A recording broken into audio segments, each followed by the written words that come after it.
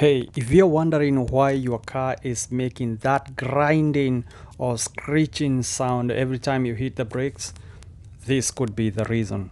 This is a brand new uh, brake pad and as you can see it's a nice and thick uh, layer of grinding material and when that material is worn out you're left with a bare metal like this and when this metal um, you hit the brakes and there's no braking material you end up damaging your rotor like this and you don't have a smooth rotor like this you end up with something very rough.